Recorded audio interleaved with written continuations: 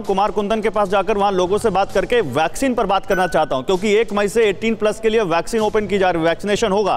कितना फिजिबल है? क्या करना चाहिए सरकार को इसके लिए? अभी जब डोजेस कम होने की बात आ रही है तो क्या उस समय डोजेस कैसे उपलब्धता बढ़ाई जाएगी? हालाँकि आज प्रधानमंत्री की इस मुद्दे पर एक बहुत बड़ी मीटिंग भी है वैक्सीन निर्माताओं के साथ। लेकिन कुमार, सबसे पहले आप जहाँ खड़े हैं, बताइए, लोगों में किस बात की दहशत है? क्यों इतनी भीड़ बस अड्डों पर दिख रही है?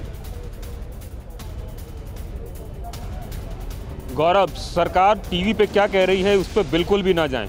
ज़मीन की हकीकत क्या है? मैं आपको दिखा रहा हूँ, ग्रीन पार्क एक्सटेंशन में खड़ा हूँ। 12 बजे रात से यहाँ लोग खड़े हैं रेमडेसिविर दवा के लिए।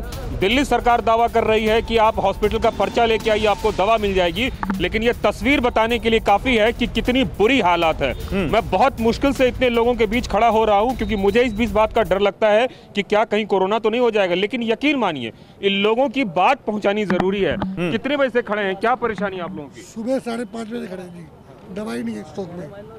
दवाई के लिए मना कर रहे हैं। कल भी कल कल दिन भर हम खड़े थे 140 नंबर इन्होंने दिया है फिर आज आए तो फिर 47 दिया है नंबर। सर पाँच बजे से खड़ा हूँ कल से। सर पाँच बजे से खड़ा हूँ। कल भी आया आज नंबर आया स्टेट में तीन सौ पच्चीस रुपये सुई आई है तीन सौ बारह रुपये सुई बात खत्म कर दी। और आज फिर दोबारा आया सर दवाई कह रहा स्टॉक नहीं स्टॉक नहीं परेशान करा इन्होंने सर। सर हम सत्रह तारीख से आ रहे हैं कोई मेडिसिन उपलब्ध नहीं है। हो है कोई दवाई नहीं है कोई जवाब नहीं है। स्टॉक अवेलेबल पर्चा वगैरह लेने के बावजूद है?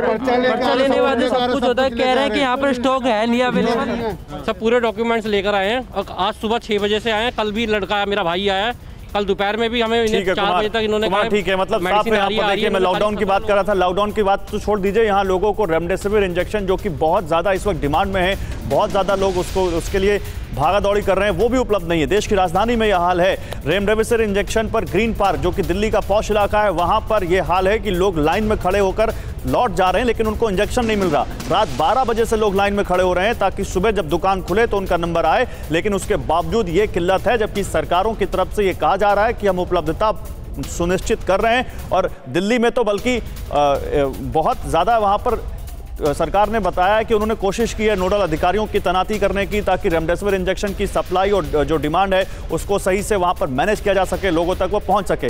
फ़िक्र आपकी, सोमवार से शुक्रवार, रात नौ बजे, सिर्फ़ टीवी 9 भारतवर्ष पर।